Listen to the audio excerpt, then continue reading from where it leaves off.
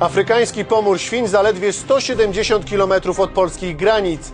Z jakimi konsekwencjami muszą liczyć się rolnicy i przemysł mięsny, gdy wirus pojawi się w kraju? O tym wszystkim powiemy już dzisiaj wieczorem 18.30 w studiu TVR.